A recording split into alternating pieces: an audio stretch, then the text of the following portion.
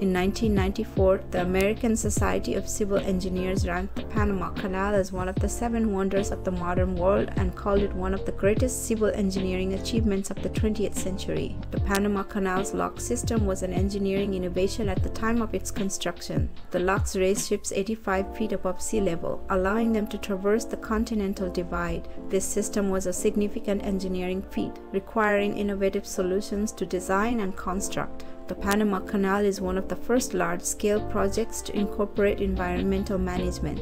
To construct the canal, engineers created the Gatun Lake, which was the largest man made lake in the world at the time of its completion. This lake is crucial for maintaining the canal's operation providing the necessary water to fill the locks and also serving as a unique example of environmental engineering. At its peak, workers from over 50 countries were involved in the canal's construction, making it a melting pot of cultures and nationalities.